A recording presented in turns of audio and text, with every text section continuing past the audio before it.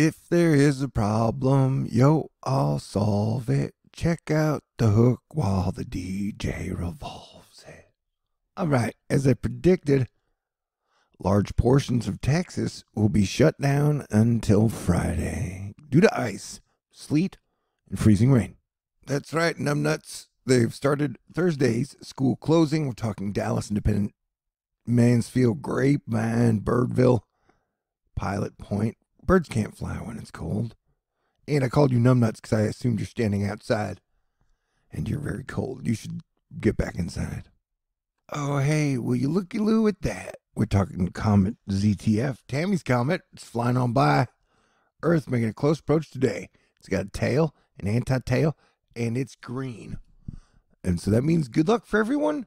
Question mark and asterisk. So I hope you are having a super duper fantastic day. And as you can see, the ice is not only causing problems in Texas, but in Oklahoma, Louisiana, Mississippi, Arkansas, Kentucky, and even Tennessee. And we might see some icing up into like the Carolinas and the Virginias. So everybody stay alert, stay aware. And I would stay home. But hey, if you want to be some of the people that are out driving, it's a free country. You can still do what you want. Here we're looking at Austin, who's definitely been hit hard by ice and some of their power outages. Right now, I do believe we have over a quarter of a million people without power as ice is heavy and really screws shit up. And so you got transformers blowing out over a lot of places. You know what I'm saying? All right. It's about 300,000 people, 297, 315 without power in Texas. So hopefully they've got candles and, and acoustic guitars. Although it's hard to play acoustic guitar if you're freezing. How are you doing today? So yeah, you got today off. Today's Wednesday. You got tomorrow off. Tomorrow's Thursday. I'm talking to people in these areas. Over here, you probably got to do shit. Imagine. Good luck with that. I do want to know who's out driving today in this weather in Texas because everything's closed. I haven't called the bars in walking distance last night. They were closed. Like, dang. Man, I just screwed up. Reed Timmer is in town talking about parking lots becoming skating rinks.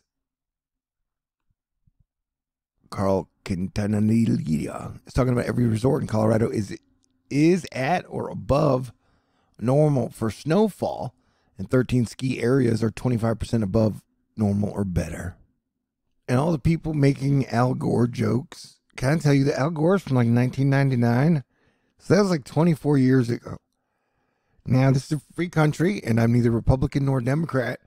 I'm saying if you're still using the basic joke from 24 years ago, you might want to upgrade your jokes, man. Um, it'd be like me still making fun of Dan Quayle from the 80s for misspelling potato. But, you know, if you want to make the same joke, go, go right ahead. It is cold, it is freezy, and it is definitely problematic for those people who are like, you know what, I'm gonna I'm gonna get out, I'm gonna drive in this shit. So yeah, you get a comet come by the sun, and then you get major solar activity. talking about a coronal mass ejection, and so Karl Battams is like, no, the comets don't affect the sun. And I'm like, yeah, they do. So you're allowed to disagree. I still respect Karl. All right. You know, I don't want to say anything to trigger you guys today. Islands in the stream, that is what we are. We rely on each other. Uh huh. Snow, ice, sleet, graupel, freezing rain, you name it. Before the storm hit, I went to buy groceries and eggs were like $6.80. I was like, no way, dude. I can, I can live without eggs today. Anyway, they say egg prices are falling. Federal Reserve will be talking about rates about the time this video is coming out. Just thought I'd let you know. It's a volcano. Ariel talking about a Gallup poll from 1960 where only 1% of people chose February as their favorite month of the year. Oh, yeah, it's Valentine's Day, man. Whoop. Boonk. Ow. It looked painful. So, yeah, be careful if you're walking or driving or bicycling or motorcycling or flamethrowering. Hey, the sun's ripping it. You see that? Ripping it.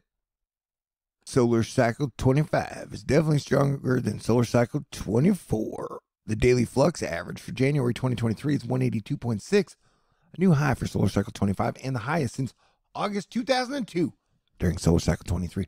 Will Solar Cycle 25 get stronger than Solar Cycle 23? I don't know. Stay tuned. Will I get a good luck kiss for Valentine's Day this year? I don't know. Stay tuned. Polar Vortex coming Wednesday. That's today. So if you're up here, watch out. A lot of people were like, hey, man, I want to go get in a traffic jam. But actually, most of those people were like truckers who had to work. So shout out to the truckers, man. All right. Smoke them if you got them. I'll talk to y'all soon. God bless everyone. Stay cool.